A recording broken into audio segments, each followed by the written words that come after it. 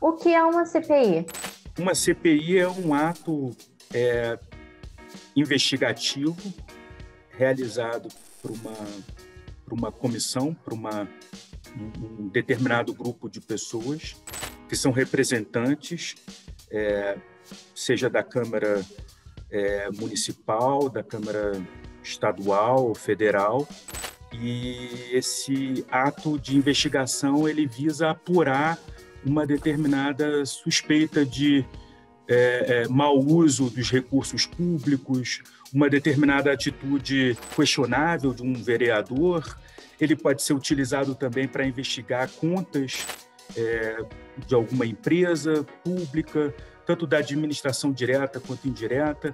Ela tem um caráter sempre provisório, ela não pode durar, durar muito, ela opera de forma extraordinária e ela tem essa função de investigar. Em geral, a gente presta muita atenção na função é, de produção das leis, né? função do, do vereador, do deputado, é a função de criação de leis.